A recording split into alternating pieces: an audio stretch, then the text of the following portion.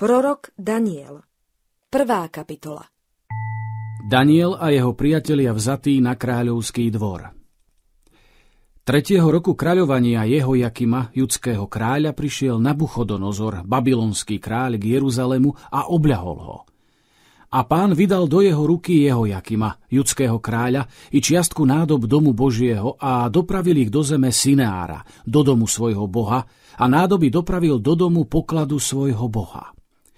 A kráľ povedal Ašpenázovi, náčelníkovi svojich dvoranínov, aby doviedol mládencov zo synov Izraelových, ako z kráľovského semena, tak aj z iných popredných mládencov, na ktorých vraj nie to nejakej vady, ktorí sú pekného vzozrenia a sú dôvtipní v každej múdrosti, vyznajúci sa vo vede a rozumejúci umeniu, a ktorých by bola sila stáť v paláci kráľovom, a aby ich vyučili písomníctvu a jazyku chaldejov.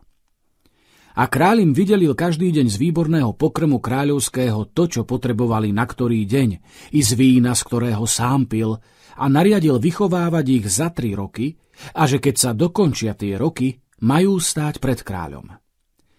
A boli medzi nimi zo synov Júdových Daniel, Chananiáš, Mišael a Azariáš. A náčelník dvoranínov im dal iné mená a nazval Daniela Baltazárom, Chananiáša Sadrachom, Mišaela Mézachom a Azariáša Abednégom. Verný Bohu i na kráľovskom dvore. A Daniel si položil na srdce, že sa nebude poškvrňovať pokrmom kráľovým a vínom, z ktorého on pije. A prosil náčelníka dvoranínov, aby sa nemusel poškvrňovať. A Boh dal Daniela v milosť a zľutovanie pred náčelníkom dvoranínov. Náčelník dvoranínov povedal Danielovi, bojím sa svojho pána kráľa, ktorý vám vymeral váš pokrm a váš nápoj. Lebo veď prečo má vidieť vaše tváre mrzutejšie a biednejšie ako tváre druhých mládencov vášho veku? A tak uvalíte vinu na moju hlavu pred kráľom. A Daniel povedal správcovi, ktorého ustanovil náčelník dvoranínov nad Danielom, Chananiášom, Mišailom a Azariášom, skús, prosím, svojich služobníkov 10 dní a nech nám dávajú strovu a budeme jesť a vodu a budeme piť. A potom nech sa vidia pred tebou a posúdia naše tváre a tváre mládencov, ktorí jedia pokrm kráľov, a podľa toho, ako uvidíš, tak učiň so svojimi služobníkmi a poslúchol ich v tej veci a skúsil ich desať dní. A po skončení desiatich dní sa ukázalo, že ich tváre boli krásnejšie a že boli tučnejší na tele od všetkých mládencov, ktorí jedli pokrm kráľov. A bolo tak, že správca odnášal ich kráľovský pokrm aj víno, ktoré mali piť a dával im strovu. Daniel a jeho priatelia múdrejší nad všetkých iných učencov – Týmto štyrom mládencom dal Boh vedomosti a rozum, aby sa vyznali v každom liternom umení a múdrosť. A krome toho Danielovi dal i to, aby rozumel každému videniu i snom. A keď sa dokončili dni, o ktorých povedal kráľ, že ich potom majú doviesť, doviedol ich náčelník dvoranínov pred Nabuchodonozora. A kráľ hovoril s nimi – a nenašiel sa z nich zo všetkých ani jeden taký, ako bol Daniel, Chananiáš, Mišael a Azariáš, a stávali pred kráľom. A v každej veci múdrosti i rozumnosti, na ktorú sa ich vypitoval kráľ, našiel ich desaťkrát zbehlejších nad všetkých učencov a hvezdárov, ktorí boli v celom jeho kráľovstve. A Daniel bol v tom postavení až do prvého roku panovania kráľa Círa. Druhá kapitola Nabuchodonozorov sen Vraždenie učencov, keď ho nevedia povedať a vyložiť. A v druhom roku kráľovania Nabuchodonozorovho snívali sa Nabuchodonozorovi sny, pre ktoré sa desil jeho duch a jeho spánok utekal od neho. Vtedy rozkázal kráľ povolať učencov, hvezdárov, čarodejníkov a chaldejov, aby oznámili kráľovi jeho sny. A tak prišli a postavili sa pred kráľom. A kráľ im povedal, sníval sa mi sen a môj duch je hnaný nepokojom zvedieť ho. A Chaldeji hovorili kráľovi aramejsky, kráľu, žinaveky, povedz svojim služobníkom sen a my povieme výklad. A kráľ odpovedal a riekol Chaldejom, slovo vyšlo odo mňa. Ak mi neoznámite sna a jeho výkladu, budete rozsekaní na kusy a vaše domy budú obrátené na hnojisko. A keď mi poviete sen a jeho výklad, dostanete odo mňa dary, bohatú odmenu a veľkú česť. Preto mi povedzte sen i jeho výklad. Odpovedali po druhé a riekli, nech povie kráľ svojim služobníkom sen a výklad oznámime. Kráľ odpovedal a riekol, ja viem istotne, že vy chcete získať čas, lebo vidíte, že slovo vyšlo odo mňa. Ak mi teda neoznámite sna, jeden a ten istý súd je pre vás. Lebo hľa, vymysleli ste lživú vec a zhubnú, aby ste hovorili predo mnou, až by sa premenil čas. Preto teda mi povedzte sen a zviem, že mi oznámite i jeho výklad. Chaldeji odpovedali pred kráľom a riekli, Niet človeka na zemi, ktorý by mohol povedať vec kráľovu, pretože ešte niktorý kráľ, akokoľvek veľký a mocný, nežiadal takej veci od niktorého učenca, hvezdára alebo chaldeja. A vec, ktorú žiada kráľ, je zriedkavá a ťažká. A nie to iného, kto by ju mohol povedať pred kráľom, krome bohov, ktorí však nemajú svojho obydlia s telom. Pre tú odpoveď sa rozhneval kráľ a veľmi sa rozľútil a rozkázal zahubiť všetkých mudrcov Babylona. A tak vyšiel rozsudok a zabíjali mudrcov a už hľadali aj Daniela i jeho priateľov, aby boli zabití. Daniel žiada pozhovenie a modlí sa i so svojimi priateľmi. Vtedy odvetil Daniel radou a rozumom Ariochovi, veliteľovi kráľových žoldnierov, ktorý bol vyšiel pozabíjať mudrcov Babylona. Odpovedal a riekol Ariochovi, kráľovmu náčelníkovi, na čo ten náhly rozkaz od kráľa? Vtedy oznámil Arioch Danielovi, aká je vec. A Daniel odišiel hore a žiadal od kráľa, aby mu dal čas, aby mohol oznámiť kráľovi žiadaný výklad sna. Vtedy odišiel Daniel do svojho domu a oznámil vec svojim priateľom, Chananiášovi, Mišaelovi a Azariášovi, aby prosili zľutovanie od Boha nebies vzhľadom na to tajomstvo, aby neboli zahubení, Daniel a jeho priatelia s pozostalými mudrcami Babylona. Vtedy bolo tajomstvo zjavené Danielovi vo videní v noci. A vtedy dobrorečil Daniel Bohu nebies. Daniel odpovedal a riekol – nech je meno Božie požehnané od veku až na veky, lebo jeho je múdrosť a sila. A on mení časy a doby, zosadzuje kráľov a ustanovuje kráľov, dáva múdrym múdrosť a vedomosť tým, ktorí znajú rozum. On zjavuje hlboké veci a skryté a vie o tom, čo je vo tme a svetlo prebýva s ním. Teba, ó Bože svojich otcov, oslavujem a chválim, ktorý si mi dal múdrosť a silu. A teraz si mi tiež oznámil to, čo sme prosili od Teba, lebo si nám oznámil vec kráľovu. Daniel povie a vyloží sen. Obraz so zlatou hlavou. Preto odišiel Daniel hore k Ariochovi, ktorého bol ustanovil kráľ na to, aby zahubil mudrcov Babylona.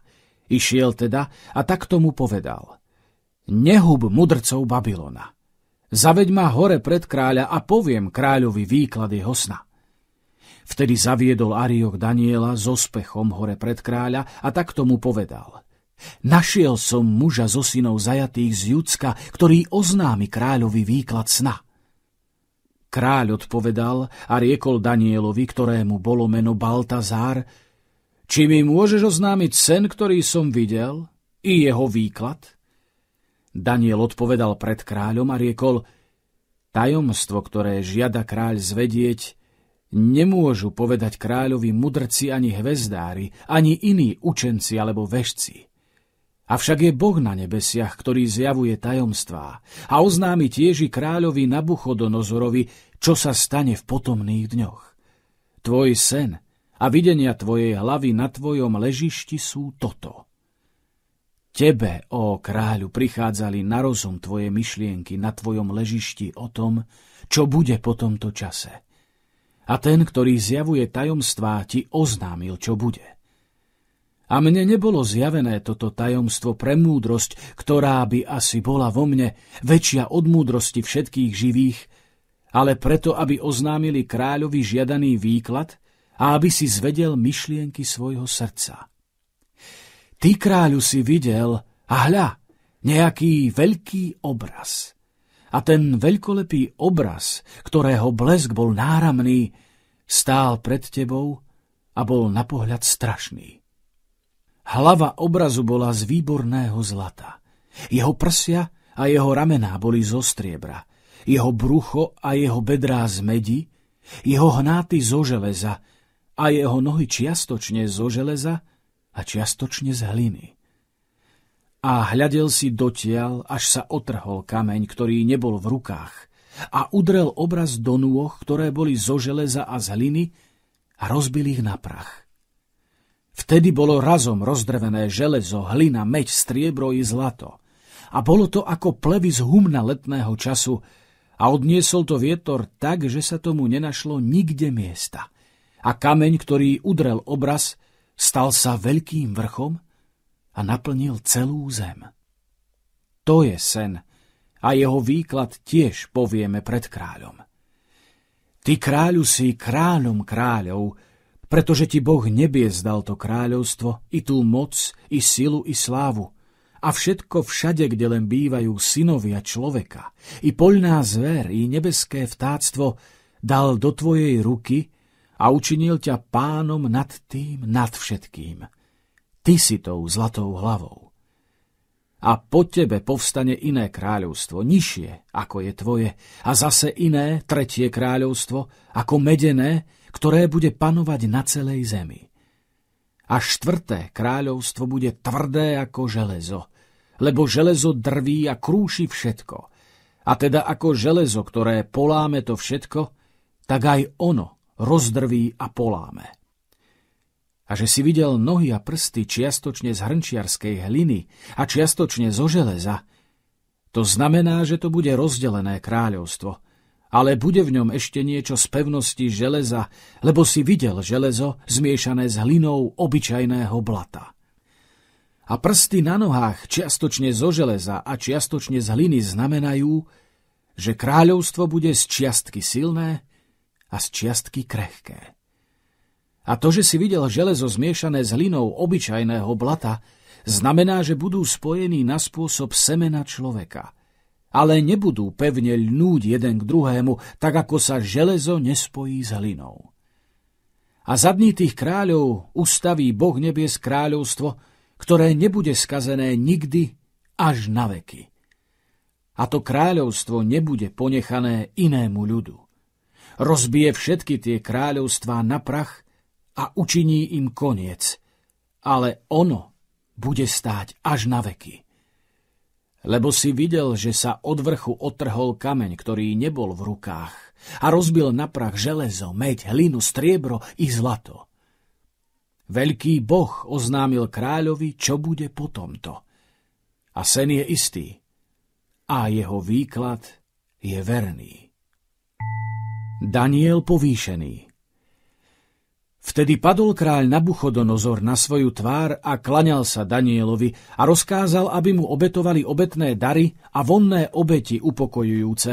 A takto odpovedal kráľ Danielovi a riekol Je v skutku pravda, že váš Boh je Bohom bohov a pánom kráľov a zjavuje tajomstvá, keď si mohol zjaviť toto tajomstvo. Vtedy zvelebil kráľ Daniela a dal mu mnohé a veľké dary a učinil ho pánom nad celou krajinou Babylona a kniežaťom vojvodov, pánom nad všetkými mudrcami Babylona. A Daniel vyžiadal od kráľa to, že ustanovil nad správou babylonskej krajiny Sadracha, Mézacha a Abednéga. A Daniel býval na dvore kráľovom. Tretia kapitola Nabuchodonozor postaví zlatý obraz. Potom spravil kráľ Nabuchodonozor zlatý obraz, ktorého výška bola 60 lakťov a šírka 6 lakťov. Postavil ho na poli Dúra v krajine Babylona. A kráľ Nabuchodonozor poslal zhromaždiť satrapov, vojvodov, náčelníkov, sudcov, pokladníkov, znalcov zákona, radcov a všetkých vladárov krajín, aby prišli na posviacku obrazu, ktorý postavil kráľ Nabuchodonozor. Vtedy sa zhromaždili satrapovia, vojvodovia, náčelníci, sudcovia, pokladníci, znalci zákona, radcovia a všetci vladári krajín na posviacku obrazu, ktorý postavil kráľ Nabuchodonozor, a stáli pred obrazom, ktorý postavil Nabuchodonozor. A hlásateľ volal z celej sily. Vám sa rozkazuje, ľuďom, národom a jazykom.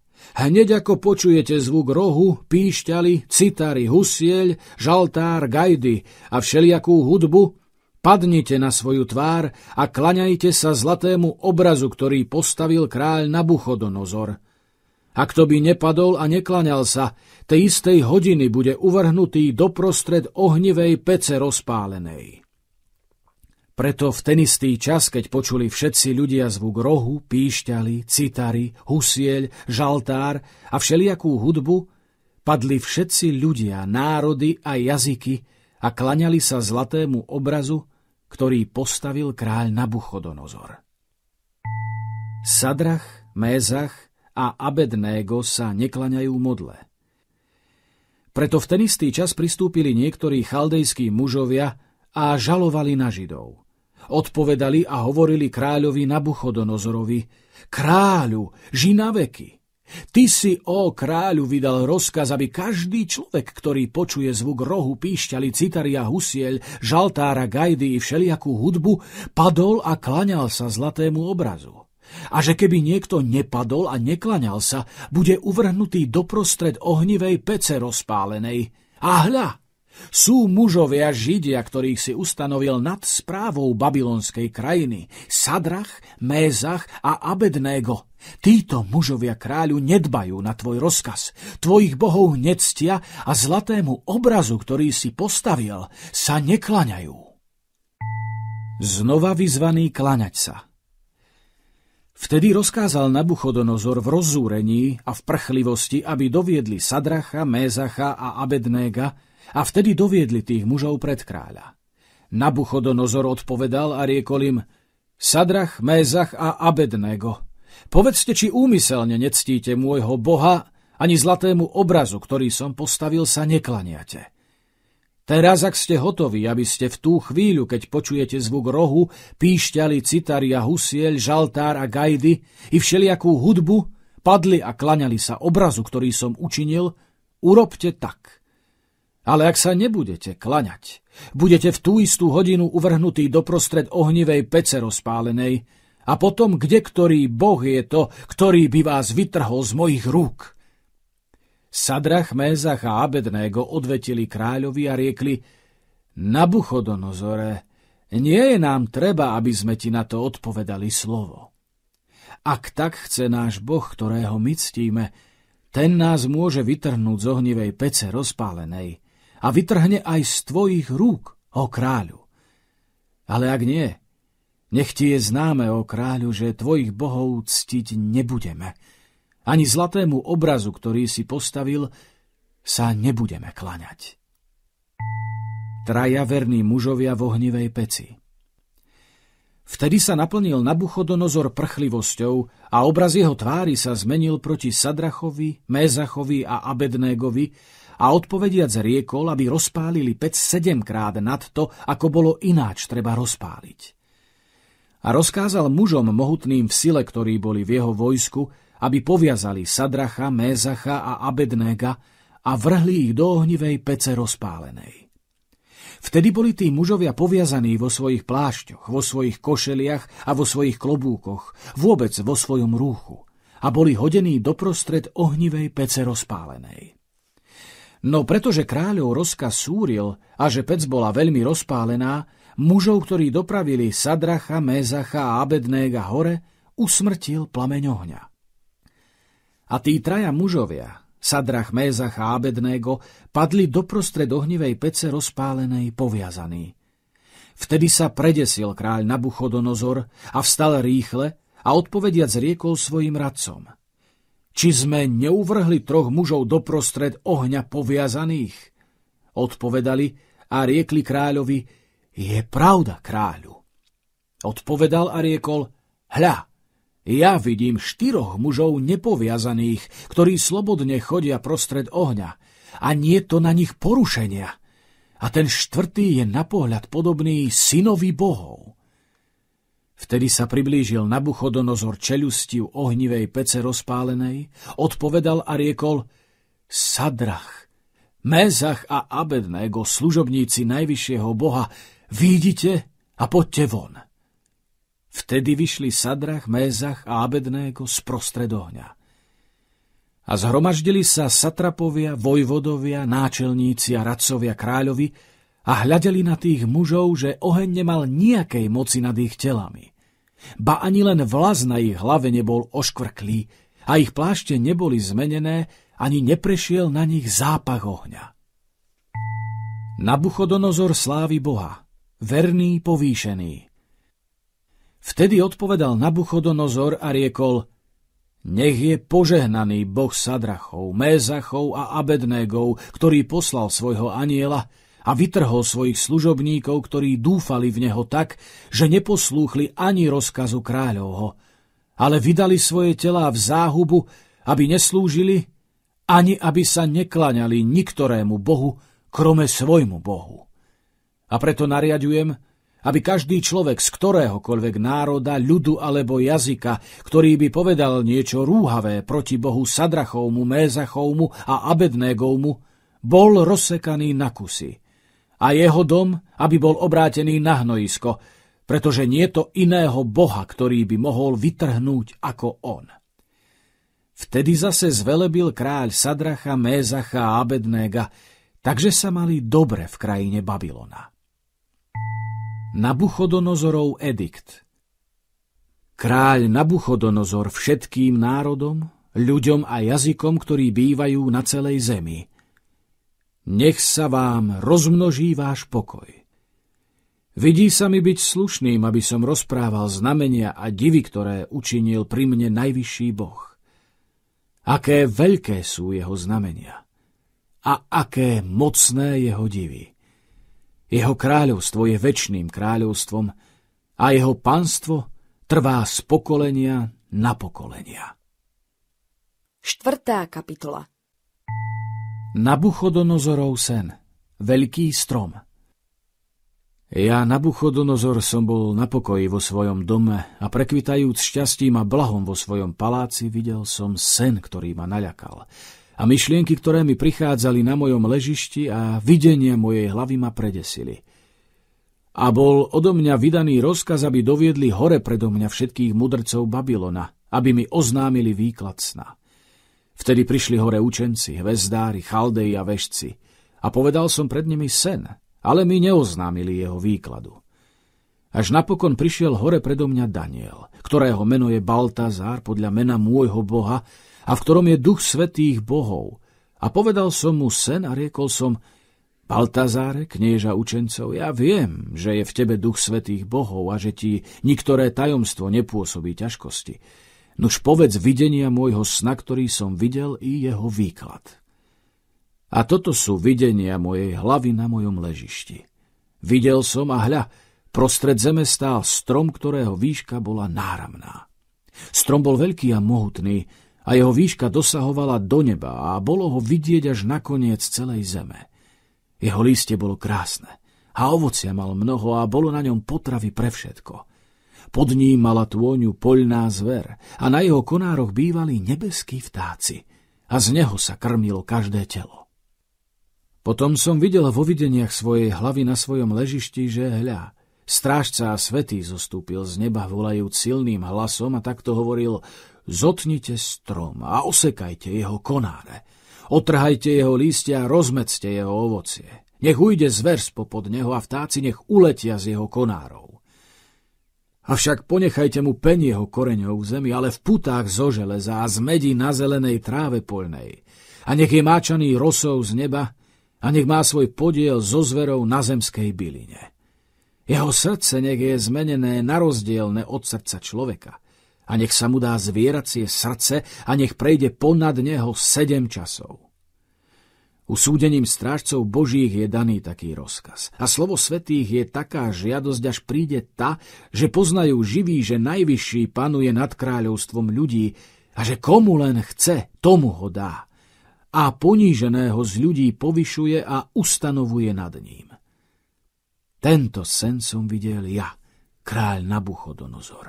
A ty, Baltazáre, povedz jeho výklad, pretože niktorý mudrc zo všetkých mudrcov môjho kráľovstva mi nemohol oznámiť jeho výklad. Ale ty môžeš, pretože duch svetých bohov je v tebe. Daniel, predesený, vykladá. Nabuchodonozor bude jesť trávu ako hovedo. Vtedy sa preľakol Daniel, ktorému bolo meno Baltazár a zhrozený stál asi za jednu hodinu a jeho myšlienky ho desili. A kráľ odpovedal a riekol, Baltazáre, nech ťa nedesí sen ani jeho výklad.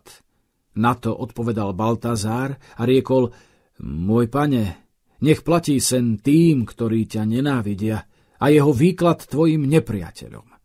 Strom, ktorý si videl, veľký a mohutný, ktorého výška siahala do neba a ktorý bol viditeľný celej zemi, ktorého lístie bolo krásne a ktorého ovocia bolo mnoho a na ktorom pokrmu pre všetko, pod ktorým bývala poľná zvera, na ktorého konároch bývali nebeskí vtáci, to si ty, o kráľu, ktorý si sa stal veľkým a mocným.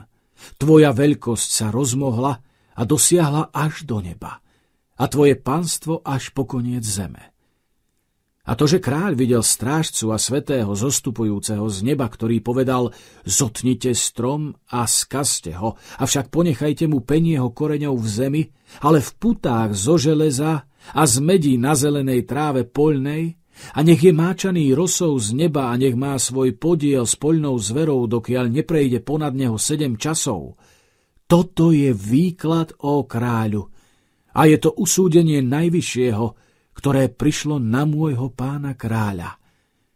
Vyženú ťa spomedzi ľudí a budeš mať obydlie s poľnou zverou. Budú ti dávať jesť bylinu ako volom a budú ťa máčať nebeskou rosou a prejde ponad teba sedem časov, až dokiaľ nepoznáš, že najvyšší panuje nad kráľovstvom človeka a že komu chce, tomu ho dá. A to, že povedali, ponechať kmeň koreňov stromu, Tvoje kráľovstvo ti bude stáť, odkedy poznáš, že panujú nebesia. Preto, o kráľu, príjmi moju radu a lám svoje hriechy spravodlivosťou a svoje neprávosti činením milosrdenstva utrápeným, ak by azda bolo nejako predlženia tvojmu pokoju. Splnenie sna. Nabuchodonozor vyhnaný a zase navrátený. No všetko to prišlo na kráľa Nabuchodonozora. Lebo ku koncu 12 mesiacov prechádzajúca hore po kráľovskom paláci v Babylone, takto hovoril kráľ a riekol, či nie je toto on? Ten veľký Babylon, ktorý som ja vystaval, aby bol domom kráľovstva, v sile svojej moci a aby bol ozdobou mojej slávy. Ešte bola reč v ústach kráľa, keď padol hlas z neba – Tebe hovoria kráľu Nabuchodonozore, že kráľovstvo odišlo od teba. A vyženú ťa spomedzi ľudí a budeš mať obydlie s poľnou zverou. Budú ti dávať jesť bylinu ako volom a prejde ponad teba sedem časov, až dokiaľ nepoznáš, že najvyšší panuje nad kráľovstvom človeka a že komu chce, tomu ho dá. V tú istú hodinu sa vyplnila reč pri Nabuchodonozorovi a bol vyhnaný spomedzi ľudí a jedol bylinu ako voli a jeho telo bolo máčané nebeskou rosou, až narástli jeho vlasy veľké ako perie orlov a jeho nechty ako pazúry vtákov. A ku koncu tých dní ja, Nabuchodonozor, pozdvihol som svoje oči k nebesiam a môj rozum sa navrátil ku mne. Dobrorečil som najvyššiemu a živého naveky som chválil a oslavoval, ktorého pánstvo je väčšným pánstvom a jeho kráľovstvo trvá z pokolenia na pokolenie. A všetci obyvatelia zeme sú počítaní ako čo by nič. A podľa svojej vôle činí s vojskom nebiezy s obyvateľmi zeme. A nie je nikoho, kto by ho udrel po ruke a povedal mu, čo to robíš? Toho istého času sa navrátil môj rozum ku mne. A čo do slávy môjho kráľovstva, i moja dôstojnosť, i môj lesk sa navrátil ku mne. A hľadali ma moji radcovia a moji veľmoži, a zase som bol postavený nad svojim kráľovstvom a bola mi pridaná ešte väčšia sláva. Teraz teda ja, Nabuchodonozor, chválim, vyvyšujem a oslavujem kráľa nebies, ktorého všetky diela sú pravdou a jeho cesty súdom, a ktorý tých, ktorí chodia v píche, môže ponížiť. 5. kapitola Balsazár sa rúha hospodinovi. Tajomná ruka píše na stenu. Kráľ Balsazár učinil svojim tisícim veľmožom veľkú hostinu a pred tými tisícmi pil víno. Balsazár, keď mu chutnalo víno, rozkázal doniesť nádoby, zlaté a strieborné, ktoré Nabuchodonozor jeho otec vyniesol z chrámu, ktorý bol v Jeruzaleme, aby z nich pili kráľ, jeho veľmoži, jeho ženy a jeho ženiny. Vtedy doniesli zlaté nádoby, ktoré boli odniesli z chrámu Božieho domu, ktorý bol v Jeruzaleme, a pili z nich kráľ, jeho veľmoži, jeho ženy a jeho ženiny. Pili víno a chválili bohov, zlatých, strieborných, medených, železných, drevených a kamenných. Ale v tú istú hodinu vyšli prsty ruky človeka a písali naproti svietniku navápennú omietku steny paláca kráľovho a kráľ videl čiastku ruky, ktorá písala. Vtedy sa zmenila jasnosť kráľova a jeho myšlienky ho desili. A klby jeho bedier sa rozviazali a triasol sa tak, že sa mu kolená tlkli jedno o druhé. A kráľ kričal celou silou, aby doviedli hore hvezdárov, chaldejov a vešcov. A kráľ odpovedal a riekol mudrcom Babylona. Ktokoľvek prečíta toto písmo a povie mi jeho výklad, bude oblečený do purpuru a dá sa mu zlatý náhrdelník na hrdlo a bude vládnuť tretí v kráľovstve. Vtedy prišli hore všetci mudrci kráľovi, ale nemohli prečítať písmo ani oznámiť kráľovi jeho výklad. Vtedy sa veľmi desil kráľ Balsazár a jeho jasnosť sa zmenila na ňom a jeho veľmoži boli bezradní. Kráľovná hovorí o Danielovi. Potom pre slová kráľové a jeho veľmožov vyšla kráľovná hore do domu, v ktorom sa hodovalo a pilo, a kráľovná prehovorila a riekla, Kráľu, ži na veky, nech ťa nedesia tvoje myšlienky a nech sa nemení tvoja jasnosť. Je v tvojom kráľovstve muž, v ktorom je duch svetých bohov a za dní tvojho otca bolo v ňom nájdené svetlo a rozum a múdrosť ako múdrosť bohov, a kráľ Nabuchodonozor, tvoj otec ho bol ustanovil za knieža učencov, hvezdárov, chaldejov a vešcov. Tvoj otec, kráľu. A pretože bol nájdený v ňom veľký duch, vedomosť a rozum, vykladanie snov a povedanie záhad a rozviazanie tvrdých uzlov v Danielovi, ktorému dal kráľ meno Baltazár, teda nech je teraz Daniel zavolaný a povie výklad. Daniel vyloží tajomné písmo. Vtedy doviedli Daniela hore pred kráľa. A kráľ odpovedal a riekol Danielovi, či si to ty ten Daniel, ktorý je zo synov judského zajatia, ktorého doviedol kráľ môj otec Judska? Počul som o tebe, že je duch bohov v tebe a že sa našlo v tebe svetlo a rozum a veľká múdrosť. Hľa, Teraz boli sem hore predo mňa dovedení mudrci a hvezdári, aby prečítali toto písmo a oznámili mi jeho výklad, ale nemôžu povedať výklad slova. Lež ja som počul o tebe, že ty môžeš vyložiť výklady a rozviazať úzly tajomstiev. A tak teraz, ak budeš môcť prečítať písmo a oznámiť mi jeho výklad, budeš oblečený do purpuru. Dá sa ti zlatý náhrdelník na tvoje hrdlo a budeš vládnuť tretí v kráľovstve.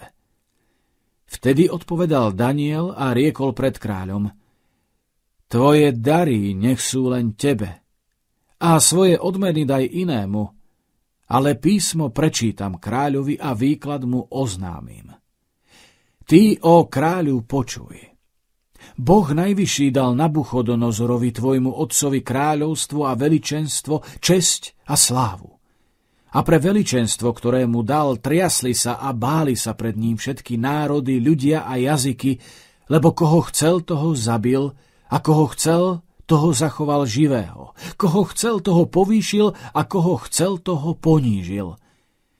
A keď sa bolo povýšilo jeho srdce a jeho duch sa zmocnil, aby robil pyšne, bol zosadený z trónu svojho kráľovstva a odňali mu jeho česť.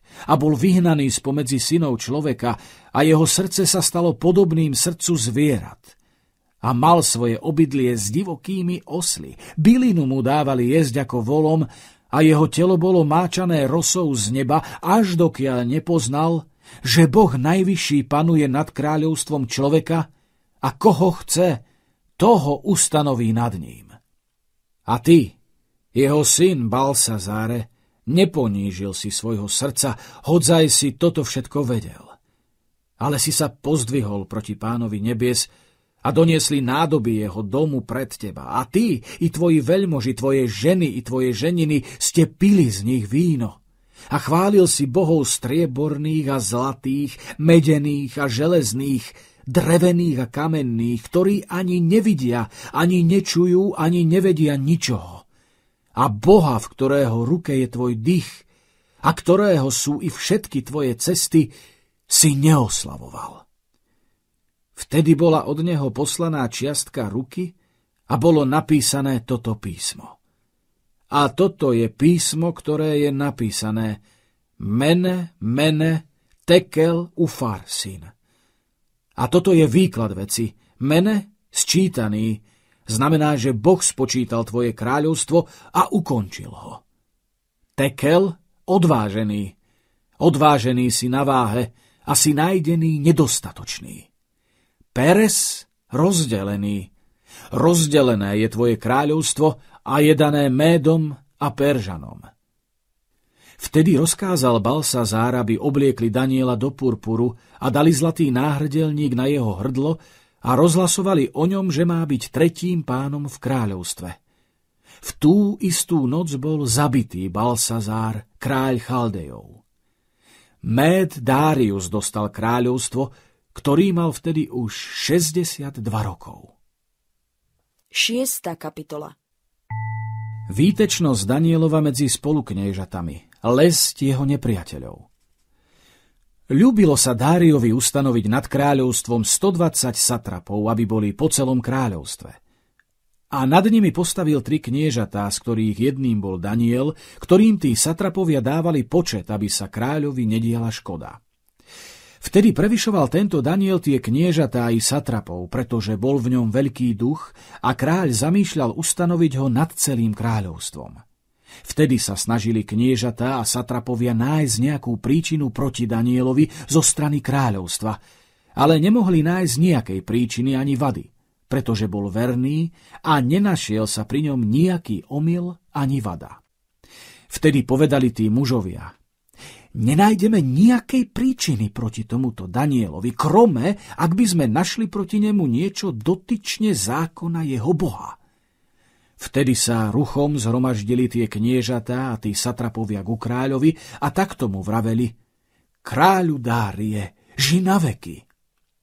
Uradili sa všetky kniežatá kráľovstva, vojvodovia, satrapovia, radcovia a náčelníci, aby kráľ ustanovil ustanovenie a vydal pevnú zápoveď tak, aby každý, kto by za 30 dní žiadal nejakú žiadosť od ktoréhokoľvek boha alebo človeka krome od teba kráľu, bol uvrhnutý do jamy levou.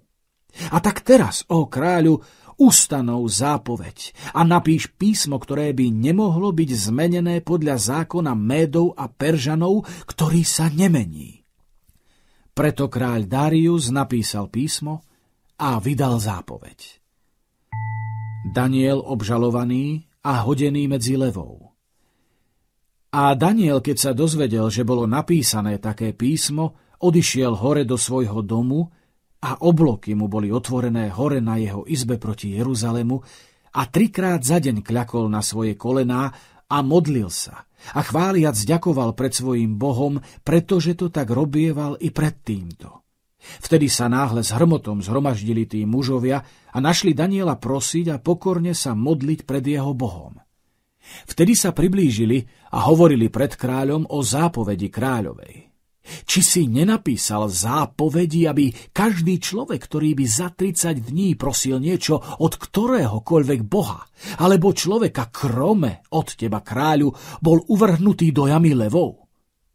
Na to odpovedal kráľ a riekol, to slovo stojí pevne podľa zákona Médov a Peržanov, ktorý sa nemení. Vtedy odpovedali a riekli pred kráľom, Daniel, ktorý je zo synov judského zajatia, nedbá na tvoje slovo, o kráľu, ani na tvoju zápoveď, ktorú si napísal, ale trikrát za deň prosí svoju prozbu od svojho boha. Vtedy sa kráľ, keď počul to slovo, veľmi zarmútil a obrátil na Daniela svoje srdce, aby ho vyslobodil a usiloval sa až do západu slnka, aby ho vytrhol. Vtedy sa znova s hrmotom zhromaždili tí mužovia ku kráľovi a vraveli kráľovi, Vec, o kráľu, že Médovia a Peržania majú zákon, aby každá zápoveď a každé ustanovenie, ktoré ustanoví kráľ, bolo nezmeniteľné. Vtedy rozkázal kráľ a doviedli Daniela a hodili ho do jamy levou.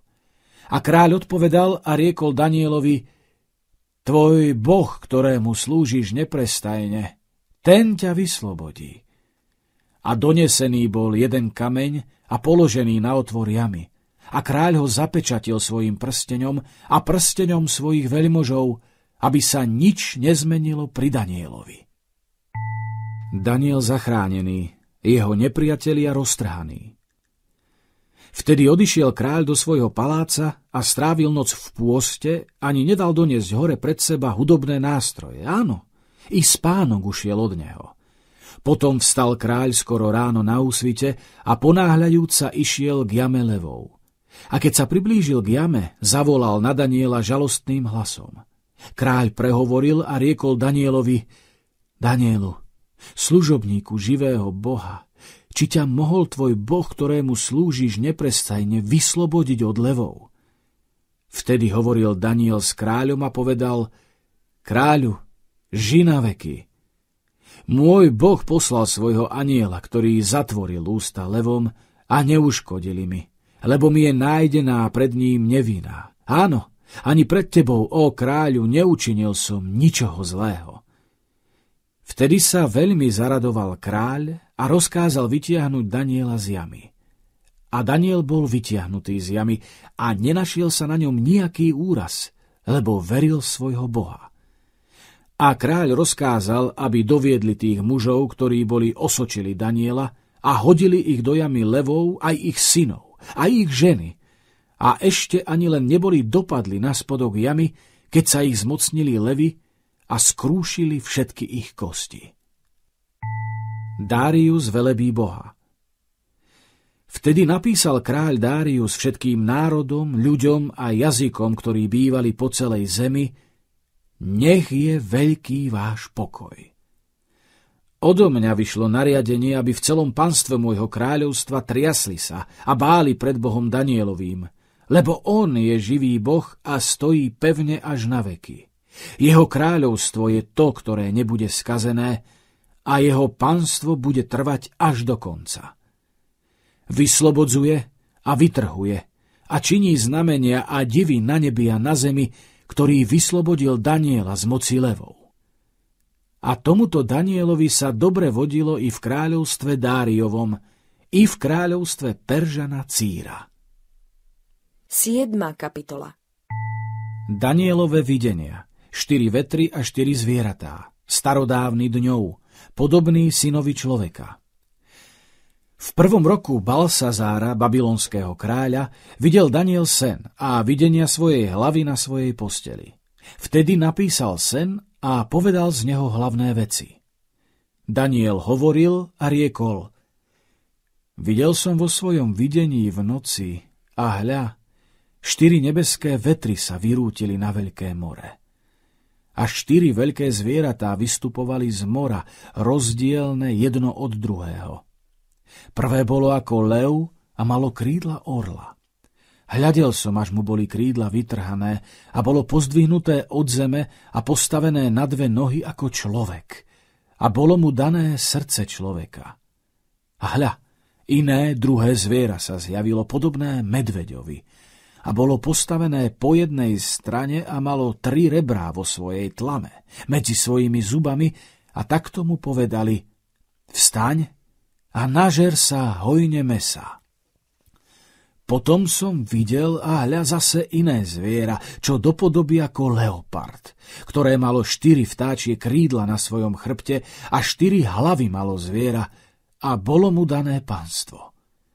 Potom som videl v nočných videniach a hľa i štvrté zviera vystúpilo. Strašné a hrozné a veľmi silné, ktoré malo veľké železné zuby. Žralo a krúšilo a ostatok šliapalo svojimi nohami – a to bolo rozdielne od všetkých zvierat, ktoré sa boli zjavili pred ním a malo desať rohov. Pozoroval som jeho rohy a hľa iný roh malý vystúpil medzi nimi. A tri z prvých rohov boli vyvrátené pred ním od koreňa a hľa, oči boli na tom rohu ako oči človeka a ústa, ktoré vraveli veľké veci. Hľadel som, až boli postavené tróny a posadil sa starodávny dňou. Jeho rúcho bolo biele ako sneh a vlasy jeho hlavy ako čistá vlna. Jeho trón plamene ohňa, jeho kolá horiaci oheň. Ohnivá rieka tiekla a vychádzala spred neho. Tisíc tisícov mu slúžilo a desaťkrát tisíc desať tisícov stálo pred ním. Zasadol súd a boli otvorené knihy. Vtedy som pozrel a hľadel som prehlas veľkej reči, ktorú hovoril roh, a hľadel som, až bolo zviera zabité a jeho telo zahubené a dané, aby ho spálil oheň. A ostatným zvieratám odňali panstvo, avšak bolo im dané predlženie života do času a do vymeraného času. Videl som v nočných videniach a hľa, s nebeskými oblakmi prichádzal kto si na pohľad ako syn človeka. A prišiel až ku starodávnemu dňou a dali mu priblížiť sa pred neho. A bolo jemu dané panstvo i sláva, i kráľovstvo. A slúžili mu všetky národy a ľudia a jazyky. Jeho panstvo je väčšným panstvom, ktoré nepominie, a jeho kráľovstvo je také, ktoré nebude zničené a môj, Danielov, duch sa zhrozil v mojich vnútrobách a videnia mojej hlavy ma predesili. Výklad videnia štyri svetové ríše, všesvetové kráľovstvo Kristovo. A vtedy som sa priblížil k jednému z tých, ktorí tam stáli a pýtal som sa ho na istotu všetkého toho. A povedal mi a oznámil mi výklad vecí. Tie veľké zvieratá, ktoré sú štyri, sú štyria kráľovia, ktorí povstanú zo zeme. Ale kráľovstvo dostanú svetí najvyšších a držať budú kráľovstvo až na veky a až na veky vekov. Vtedy som chcel vedieť istotu o tom štvrtom zvierati, ktoré bolo rozdielne od nich od všetkých. Strašné náramne, ktoré malo zuby zo železa a pazúry z medi ktoré žralo a krúšilo a ostatok šliapalo svojimi nohami, ako aj o desiatich rohoch, ktoré boli na jeho hlave. A o tom inom, ktorý bol vystúpil, a padli pred ním tri. O tom rohu, ktorý to mal oči a ústa, ktoré vraveli veľké veci a bol na pohľad väčší ako jeho druhovia. A hľadiac videl som, že ten roh viedol vojnu so svetými a premáhal ich až prišiel starodávny dňou a daný bol súd svetým najvyšších a prišiel čas a kráľovstvo prevzali svetí. Takto povedal. Štvrtým zvieraťom bude štvrté kráľovstvo na zemi, ktoré bude rozdielne od všetkých kráľovstiev a požerie celú zem a pomláti ju a rozdrtí ju. A desať rohov Znamená, že z toho kráľovstva povstane 10 kráľov a po nich povstane iný, ktorý bude rozdielny od predošlých a poníži troch kráľov. A bude vravieť slová proti najvyššiemu a unaví svetých najvyšších. A bude pomýšľať na to, že premení časy a zákon a budú vydaní do jeho ruky až do času a čias a do polovice času. Ale potom zasadne súd a odní mu jeho pánstvo, aby ho vyplienili a zahubili až do konca. A kráľovstvo, pánstvo a veličenstvo kráľovstiev pod všetkými nebesami bude dané ľudu svetých najvyšších. Jeho kráľovstvo je väčšným kráľovstvom a všetky panstvá budú jemu slúžiť a poslúchať ho. Až potiaľ to koniec veci. Mňa, Daniela, veľmi desili moje myšlienky a zmenilo sa jasné vzozrenie mojej tvári. Avšak som zachoval vec vo svojom srdci. 8. kapitola Ďalšie videnie. Baran, kozol a jeho rohy. V treťom roku kráľovania kráľa Balsazára ukázalo sa mi videnie, mene Danielovi, po videní, ktoré sa mi ukázalo na počiatku. A teda videl som vo videní. A keď som to videl, bol som na hrade Súsane, ktorý je v krajine Elame, a videl som vo videní, že som pri potoku Ulaj. A pozdvihnúť svoje oči videl som, a hľa, Jeden baran stál pred potokom a mal dva rohy. A rohy boli vysoké, a jeden bol vyšší ako ten druhý, a ten vyšší vystúpil neskoršie. Videl som barana, že drgalo proti moru na západ, na sever a na juh, a niktoré zviera neobstálo pred ním, ani nebolo nikoho, kto by bol mohol vytrhnúť z jeho moci a robil, čo chcel. A stal sa veľkým. A ja som pozoroval a hľa kozol skôs prichádzal od západu na tvár celej zeme a nikto sa ho nedotýkal na zemi. A kozol mal značný roh medzi svojimi očami. Prišiel až k baranovi, ktorý to mal tie dva rohy, ktorého som bol videl stáť pred potokom a bežal k nemu v prchlivosti svojej sily. A videl som ho, že dospel až pobok k samému baranovi a rozľútiac sa na neho udrel barana a polámal oba jeho rohy. A nebolo v baranovi sily, aby bol mohol obstáť pred ním. Hodil ho na zem a pošľapal ho. Ani nemal baran nikoho, kto by ho bol vytrhol z jeho moci. A kozol sa stal náramne veľkým. A keď zmocnel, zlomený bol jeho veľký roh a na jeho miesto vystúpili značné štyri iné rohy vo štyri vetry nebies. Z jedného z nich vyšiel jeden malý roh a stal sa až príliš veľkým smerom k poludňu a k východu a k krásnej zemi. Zmohutnel až po nebeské vojsko a zvrhol niektorých z toho vojska na zem i niektoré z hviezd a pošliapal ich. Áno, zmohutnel tak, že sa odvážil až po knieža toho vojska a od neho bola odňatá ústavičná obeď a zvrhnutý bol príbytok jeho svetine. A roh si dal vojsko proti ustavičnej obeti v neprávosti a hodil pravdu na zem a robil, čo chcel.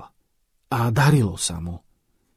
A počul som hovoriť jedného svetého a riekol jeden iný svetý istému tomu, ktorý to hovoril.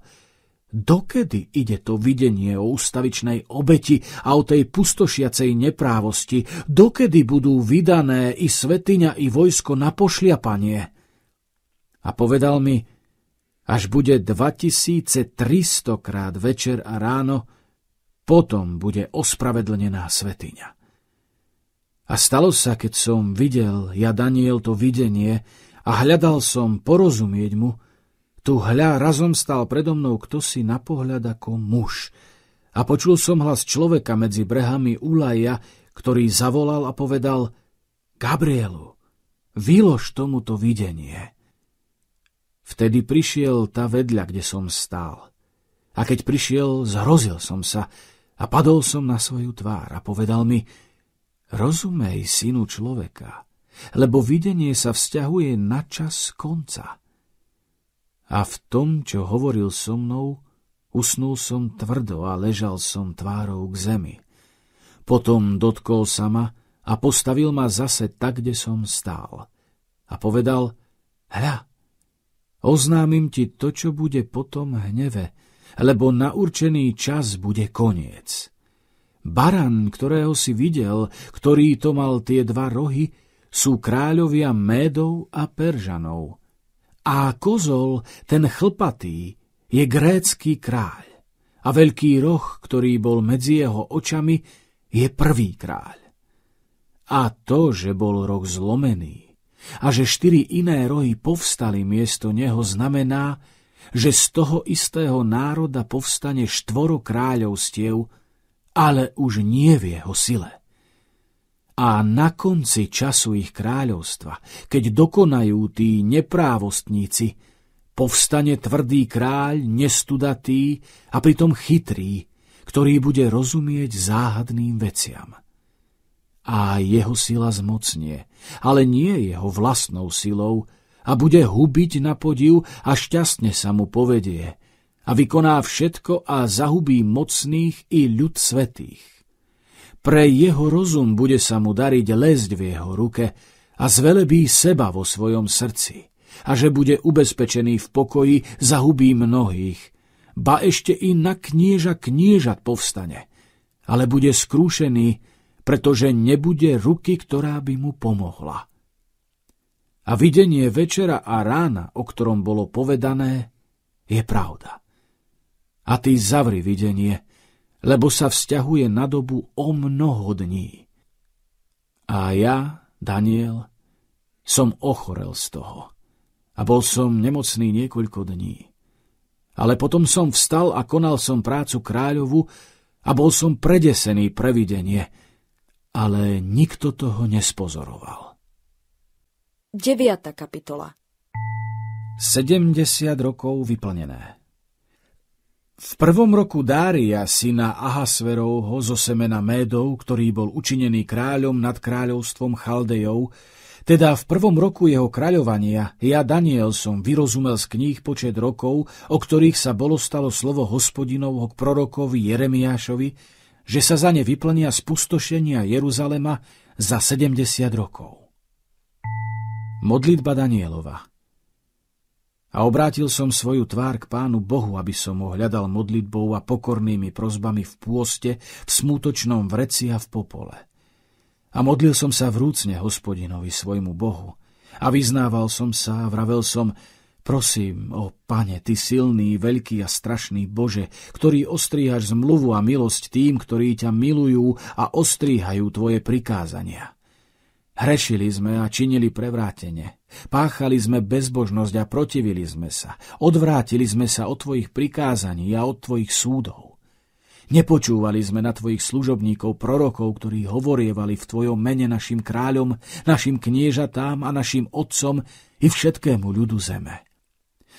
Tebe, ó pane, spravodlivosť a nám zahambenie tvári, ako sa to deje dnes, človeku Židovi a obyvateľom Jeruzalema a celému Izraelovi, blízkym i ďalekým, vo všetkých zemiach, kam si ich zahnal pre ich vierolomnosť, ktorou hrešili proti Tebe. Nám, ó pane, zahambenie tvári, našim kráľom, našim kniežatám a našim otcom, lebo sme hrešili proti Tebe. Pánu našemu Bohu milosrdenstvo a mnohé odpustenia, pretože sme sa mu protivili a nepočúvali sme nahlas hospodina, svojho Boha, aby sme boli chodili v jeho zákonoch, ktoré nám predložil svojimi sluhami prorokmi. Ale celý Izrael, všetci prestúpili tvoj zákon a odvrátili sa, aby nepočuli tvojho hlasu. A preto sa na nás vyliala kliatba a prísaha, ktorá je napísaná v zákone Mojžiša, sluhu Božieho, lebo sme hrešili proti nemu. A postavil svoje slovo, ktoré vyriekol proti nám a proti našim sudcom, ktorí nás súdili, že uviedol na nás veľké zlo, aké nebolo vykonané nikde pod celým nebom, aké bolo vykonané v Jeruzaleme. Ako je napísané v zákone Mojžišovom, všetko to zlé prišlo na nás, a predsa sme sa len neusilovali upokojiť rozhnevanú tvár hospodina, svojho Boha, tak aby sme sa boli odvrátili od svojich neprávostí a pozorovali na Tvoju pravdu, ó Pane. A preto bedlivo pozoroval hospodin na to zlo a uviedol ho na nás, lebo hospodin náš Boh je spravodlivý vo všetkých svojich skutkoch, ktoré činí, ale sme nepočúvali na jeho hlas – Avšak teraz, ó pane, Náš Bože, Ty, ktorý si vyviedol svoj ľud z egyptskej zeme silnou rukou a učinil si si meno, aké je tohoto dňa, keď sme už aj hrešili a páchali bezbožnosť. Prosím, o Pane, nechže sa pri všetkej Tvojej spravodlivosti odvráti Tvoj hnev a Tvoja prchlivosť od Tvojho mesta Jeruzalema, vrchu Tvojej svetosti lebo pre naše hriechy a pre neprávosti našich otcov je ako Jeruzalém, taký tvoj ľud na potupu všetkému nášmu okoliu. A tak teraz počuj, náš Bože, na modlitbu svojho služobníka a na jeho pokorné prozby a daj svietiť svojej tvári nad svojou svetiňou, ktorá leží spustošená pre pána. Nakloň, môj Bože, svoje ucho a počuj – Otvor svoje oči a vidz naše spustošenie, i spustošenie mesta, ktoré je pomenované na Tvoje meno, lebo nie pre nejaké svoje spravodlivosti kladieme pred Teba svoje pokorné prozby, ale pre Tvoje mnohé zľutovania. Pane, počuj. Pane, odpusť. Pane, pozoruj ušami a učiň, neodkladaj pre samého seba, môj Bože, lebo Tvoje meno je menované nad tvojim mestom a nad tvojim ľudom. Gabriel chváli Daniela a dáva mu rozumieť. Mesiáš, pustošiteľ. A ešte kým som ja hovoril, modlil sa a vyznával svoj hriech a hriech svojho ľudu Izraela a predkladal svoju pokornú prozbu pred hospodina, svojho Boha, za svetý vrch svojho Boha, a teda kým som ja ešte hovoril na svojej modlitbe, priletel rýchle muž Gabriel, ktorého som videl vo videní tam na počiatku a dotkol sa ma nejako o čase večernej obeti. A dal mi rozumieť a hovoril so mnou a povedal Danielu, teraz som vyšiel, aby som ťa učinil schopného rozumieť tajomstvám. Pri počiatku tvojich pokorných prozieb vyšlo slovo, a ja som prišiel, aby som ti ho oznámil, lebo si veľmi ľúbi. A tak pozoruj na slovo a rozumej videniu. 70 týždňov je vymerané vzhľadom na tvoj ľud a na mesto tvojej svetosti, uzavrieť prestúpenie a zapečatiť hriech, pokryť neprávosť a priviesť spravodlivosť vekov, zapečatiť videnie i proroctvo proroka a pomazať svetiňu svetých. A vec a rozumej, že odkedy výjde slovo navrátiť Izraela a vystavať Jeruzalem až do pomazaného vojvodu, bude sedem týždňov a 62 týždňov a zase bude vystavená ulica i priekopa a to sa bude diať v úzkosti časov a po 60 a dvoch týždňoch bude vyťatý pomazaný a nietmu. A mesto i svetiňu skazí ľud vojvodu, ktorý príde a jeho koniec bude ako záplava a vojna až do konca, určené pustošenia. A uzavrie pevnú zmluvu s mnohými za jeden týždeň a v polovici toho týždňa urobí to, že prestane bytná obeď aj obetný dar obilný – a na krídle ohavnosti ponesie sa pustošiteľ. A to až sa úplná záhuba a to, čo je určené, vyleje na pustošiteľa. Desiata kapitola Daniel smúti nad osudom ľudu Božieho, muž v ľanovom rúchu. V treťom roku Círa perského kráľa bolo zjavené slovo Danielovi, ktorý bol pomenovaný menom Baltazár, a to slovo bolo pravdou a znamenalo veľkú borbu. A porozumel slovu a mal porozumenie vo videní. V tých dňoch som ja, Daniel, smútil za celé tri týždne. Žiadostného chleba chutného som nejedol a meso a víno nevošlo do mojich úst, ani masťou pomazať som sa nepomazal, dokiaľ sa nevyplnili dni troch týždňov. A 24. dňa prvého mesiaca som bol na brehu veľkej rieky Hiddekela. A pozdvihol som svoje oči a videl som, a hľa nejaký muž sa ukázal, oblečený v ľanovom rúchu a na svojich bedrách bol prepásaný čistým zlatom z úfaza. Jeho driek bol ako drahokam taršíž a jeho tvár bola na pohľad ako blesk. Jeho oči ako horiace fakle, jeho ramená a jeho nohy boli podobné lesklej medi a zvuk jeho slov zvučal ako zvuk množstva ľudu. A ja, Daniel, som samotný videl videnie. Mužovia, ktorí boli so mnou, nevideli videnia, ale padla na nich veľká hrôza a utekali, aby sa skryli. Ja som zostal samotný a videl som to veľké videnie, ale nezostalo ani vo mne sily a moja krása zmenila sa pri mne a porušila a nezadržal som v sebe sily. A počul som hlas jeho slov. A ako som počul hlas jeho slov, hneď som tvrdo usnul na svojej tvári a ležal som tvárou k zemi. Potešenie Danielovi. Borba za ľud Boží. Michael. A hľa, dotkla sa ma nejaká ruka a pozdvihla ma na moje kolená a na dlane mojich rúk. A povedal mi, Danielu, ľúbi mužu, pozoruj na slová, ktoré ti budem hovoriť a stoj na svojom mieste, lebo som teraz poslaný k tebe. A v tom, čo hovoril so mnou to slovo, stál som a triasol som sa – a riekol mi, neboj sa, Danielu, lebo od prvého dňa, ako si priložil svoje srdce, aby si rozumel a ponižoval sa pred svojim Bohom, uslyšané sú tvoje slová a ja som prišiel príčinou tvojich slov. Ale knieža Perského kráľovstva stálo oproti mne 21 dní. A hľa, Michael, jedno z prvých kniežat, mi prišiel na pomoc – a ja som pozostal tam pri perských kráľoch. A prišiel som, aby som ti dal rozumieť tomu, čo zájde tvoj ľud v potomných dňoch, lebo ešte bude videnie tým dňom. A v tom, čo hovoril so mnou asi tieto slová, sklonil som svoju tvár k zemi a zanemel som. A hľa niekto podobný synom človeka dotkol sa mojich hrtov, a tak som otvoril svoje ústa, vravel a riekol som tomu, ktorý to stál naproti mne. Pane, od toho videnia obrátili sa moje bolesti na mňa. Ani som nezadržal v sebe sily. A ako teda bude môcť takýto služobník môjho pána hovoriť s takýmto môjim pánom, keď odteraz neobstojí vo mne sila, ani nezostane vo mne dychu? A znova sa ma dotkol ten kto si na pohľad ako človek a posilnil ma. A riekol, neboj sa, ľúbi mužu, pokoj ti. Buď silný a len buď silný.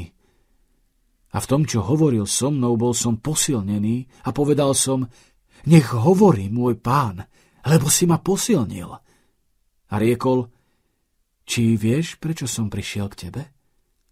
Ale teraz už sa zase navrátim, aby som bojoval s perským kniežaťom. A keď ja budem odchádzať, hľa, príde grécke knieža. Ale oznámim ti to, čo je zaznačené v písme, ktoré je pravdou. A nie ani jedného, ktorý by sa vzmužil so mnou proti týmto, krome Michaela, vášho kniežaťa. 11. kapitola Proroctvo o štyroch perských kráľoch A ja som stal v prvom roku Méda Dária, aby som ho posilňoval a bol mu na pomoc. A teraz ti oznámim pravdu. Hľa, ešte traja kráľovia budú stáť Perzii a štvrtý nadobudne veľkého bohatstva, viac od nich od všetkých. A keď zmocnie vo svojom bohatstve, zobudí všetko proti gréckému kráľovstvu a povstane hrdinský kráľ a bude panovať nad veľkým panstvom a bude robiť po svojej vôli. A vtedy, keď už bude stáť, bude skrúšené jeho kráľovstvo a bude rozdelené vo štyri nebeské vetry, ale nie medzi jeho potomstvo. Ani to už nebude panstvo, aké bolo jeho panstvo, nad ktorým panoval. Lebo jeho kráľovstvo bude vykorenené a dostane sa iným, mimo nich.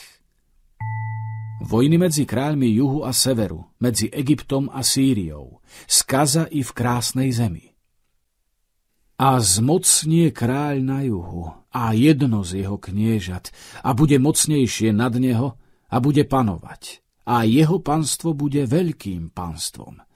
Ale po niekoľkých rokoch sa spolčia a dcéra kráľa juhu príde ku kráľovi severu, aby učinila mier ale nezadrží v sebe sily ramena, ani neobstojí on, ani jeho rameno, lež bude vydaná ona a tí, ktorí ju dovedú, i ten, ktorý ju splodil, ako i ten, ktorý ju posilňoval v tých časoch.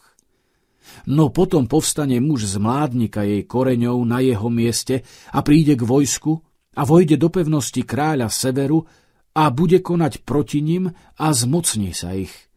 Áno, aj ich bohov s ich kniežatami, s ich vzácnými nádobami, zo striebra a zo zlata, zavedie do zajatia do Egypta. A on bude stáť nejaké roky dlhšie od kráľa severu a príde do kráľovstva kráľa juhu, ale sa navráti do svojej zeme. No jeho synovia sa dajú do vojny a zhromaždia množstvo veľkých vojsk, ktoré príde a zaplaví zem ako povodeň a prejde a zase sa dajú do vojny a prederú sa až k jeho pevnosti. Na to sa rozhorčí kráľ juhu a výjde a bude s ním bojovať s kráľom severu a postaví veľké množstvo a to množstvo bude dané do jeho ruky a pojme množstvo, ale jeho srdce sa povýši a tak síce porazí desať tisíce, ale nebude dosť mocný, lebo zase postaví kráľ severu veľké množstvo, väčšie ako bolo to prvé, a ku koncu časov a rokov príde s veľkým vojskom a s veľkým imaním. V tých časoch povstanú mnohí proti kráľovi juhu a synovia násilníkov z tvojho ľudu sa pozdvihnú, aby postavili videnie a padnú. Potom príde kráľ severu a nasype val a zaujme opevnené mesto a neobstoja pomocné ramená juhu, ani jeho vybraný ľud, ani nebude sily obstáť. A ten, ktorý príde proti nemu, bude robiť podľa svojej vôle a nebude nikoho, kto by obstál pred ním. A postaví sa i v krásnej zemi a skaza bude v jeho ruke a obráti svoju tvár, aby prišiel s pomocou celého svojho kráľovstva a úprimný s ním a bude konať. A dá mu dceru žien, aby to skazila. Ale ona neobstojí ani nebude za neho. Tu zase obráti svoju tvár k ostrovom a zaujme mnohé z nich, ale knieža urobí prietrž jeho hanobeniu a nadto jeho pohanu obráti na neho. Potom obráti svoju tvár k pevnostiam svojej zeme a klesne a padne. Ani sa nenájde viacej. Rôzni panovníci, vyberajúci dane, opovržený človek, zápas medzi kráľom severu a juhu. A na jeho mieste povstane taký, ktorý pošle vyberajúceho dane v sláve kráľovstva, ale bude skrúšený v niekoľkých dňoch, a to nie v hneve, ani nie v boji. A zase na jeho mieste povstane opovržený človek, na ktorého nedajú slávy kráľovstva, ale príde v pokoji a zmocní sa kráľovstva úlisnosťou. A ramená záplavy budú odplavené sťa povodňou spred jeho tvári a budú skrúšení, áno, i knieža zmluvy. Lebo od toho času, ako sa spolčia s ním, bude robiť falošne a príde hore a zmocní sa kráľovstva s malým počtom ľudu v bezpečnosti vnikne i do najtučnejších miest krajiny a bude robiť to, čo nerobili jeho otcovia ani otcovia jeho otcov. Lúpež a korisť a imanie im bude rozhadzovať, i na opevnené mestá bude vymýšľať svoje výmysly, a to do času. A zobudí svoju silu a svoje srdce proti kráľovi juhu s veľkým vojskom. A kráľ juhu sa pustí do boja s náramne veľkým a mocným vojskom, ale neobstojí, lebo vymyslia proti nemu výmysly. A tí, ktorí jedia jeho kráľovský pokrm, ho skrúšia a jeho vojsko zaplaví zem a padnú pobytí mnohí. Srdce obidvoch tých kráľov bude myslieť urobiť zlé. A za jedným a tým istým stolom budú hovoriť lož, ale sa nepodarí, lebo koniec bude ešte odložený na určený čas. A navráti sa do svojej zeme s veľkým imaním a jeho srdce bude proti svetej zmluve a vykoná a navráti sa do svojej zeme. Potom na určený čas sa vráti a príde na juh, ale to posledné už nebude ako to prvé. lebo priplujú na neho kitejské lode a ochabne a navráti sa a bude sa zlostiť na svetú zmluvu a bude konať. A navráti sa a bude pozorovať na tých, ktorí opustili svetú zmluvu. Odstránená ustavičná obeď, panovník povyšujúci sa nad každého boha – a budú stáť z jeho strany ramená a poškvrenia svetiňu, pevnosť a odstránia ustavičnú obeď a dajú na to miesto pustošiacu ohavnosť. A tí, ktorí sa bezbožne chovajú voči zmluve, zvedie k pokritectvu lichoteniami. No ľudia znajúci svojho Boha sa zmocnia a vykonajú hrdinstvo. A rozumní z ľudu dajú rozumieť mnohým, ale budú klesať od meča a od plameňa v zajatí a v zboji určené dni. A keď budú klesať, dostane sa im nejaká malá pomoc a pripoja sa k ním mnohí v úlisnosti. A niektorí z tých rozumných klesnú prečistiť medzi nimi sťa ohňom, očistiť ich a zbieliť až do konečného času, lebo to tak potrvá ešte až do určeného času. A rečený kráľ bude robiť podľa svojej vôle – a bude sa povyšovať a zvelebovať nad každého boha. I proti silnému bohu bohov bude hovoriť podivné veci. A šťastne sa mu bude vodiť, dokiaľ sa nedovrší zúrivý hnev, lebo to, čo je určené, sa vykoná. Nebude dbať o bohov svojich otcov, ani o pôvab žien, ani o niktorého boha nebude dbať, lebo sa bude zvelebovať nad to nadovšetko ale na to miesto bude ctiť Boha pevnosti a Boha, ktorého neznali jeho otcovia, bude ctiť zlatom a striebrom, drahými kameňmi a inými drahocennosťami. A narobí hradie pevností s cudzím Bohom. Toho, kto ho uzná, obdarí veľkou slávou a takým dá, aby panovali nad mnohými a za odmenu im rozdelí zem. A v tom čase, keď tomu bude mať byť koniec, podrga sa s ním kráľ juhu. A kráľ severu príde na neho ako výchrica s vozmi a s jazdcami a s mnohými loďami a príde do zemí, zaplaví a prejde. Potom príde do krásnej zeme a mnohé zeme klesnú, ale títo uniknú z jeho ruky.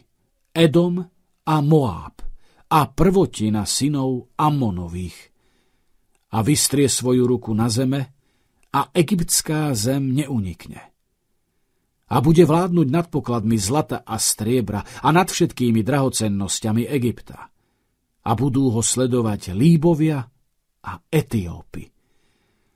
Ale ho predesia zvesti od východu a od severu. Preto výjde vo veľkom vsteku, aby zahladil a zničil mnohých a postaví stány svojho paláca medzi morami a medzi vrchom krásy svetosti. Potom príde k svojmu koncu a nebude mať spomocníka. 12. kapitola Posledná borba. Ľud Boží vyslobodený. Vzkriesenie mŕtvych. V tom čase povstane Michael, veľké knieža, ktorý stojí nad synmi tvojho ľudu, a bude čas súženia, akého nebolo, odkedy len je národom až do toho času. A v tom čase bude vyslobodený tvoj ľud, každý, kto bude nájdený, zapísaný v knihe.